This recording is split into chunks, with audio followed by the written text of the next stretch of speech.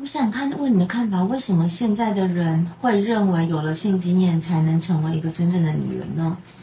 现在的人应该没有这样子的那个吧？应该是你身边的某一些人，因为有些人会说哦，一定要生了小孩才是成为一个女人，还要完整。我觉得那是每一个人定义不同吧。像我觉得女人就是女人啊，没有没有一定要做什么事情才能成为一个女人。对，这个只是每个人的认知不同，所以嗯，不用去太在意别别人怎么说的。他他认为是这样，只要你自己不是这样就好。我们每个人都有成为自己的一个方式，不需要活在人家的定义里面。哦，困扰很久，不要困扰，那个只是每个人定义不一样。就比如说，有些人会觉得，哦，一定要吃到甜点才代表。我这一餐吃完了，有些人会这样嘛？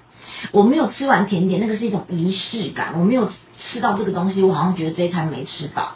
但是每个人定义不同啊，他觉得要吃完甜点才代表吃一餐，但是我不需要，我可能吃一碗白饭也可以。那有些人可能觉得他一定要呃三菜一汤，或者是一定要有什么蛋白质、淀粉什么什么都要足了，他才觉得这个是一餐。就是每一个人对定义不一样而已啦。那可能就那个人觉得要成为女人一定要那样子嘛？那但是不一定啊，不一定。你自己认为你是，那就是了。